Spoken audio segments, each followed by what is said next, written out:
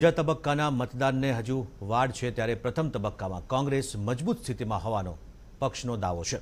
પ્રથમ તબક્કાના મતદાન બાદ ગુજરાત કોંગ્રેસના પ્રદેશ પ્રભારી રઘુ શર્માએ દાવો કર્યો કે કોંગ્રેસ સૌરાષ્ટ્ર, કચ્છ અને દક્ષિણ ગુજરાતમાં નેવ્યાશીમાંથી પાસઠ બેઠકો જીતી રહી છે. જેની પાછળ ઉમેદવાર સહિત રાજ્યના નેતાઓ અને રાષ્ટ્રીય નેતાઓની મહેનત જોવા મળી રહી છે. ભારત જોડો યાત્રા વચ્ચે પણ રાહુલ ગાંધીએ ગુજરાત ચૂંટણી પર બારીકાઈથી નજર રાખી હોવાનો દાવો રઘુ શર્માએ કર્યો. बहुत ही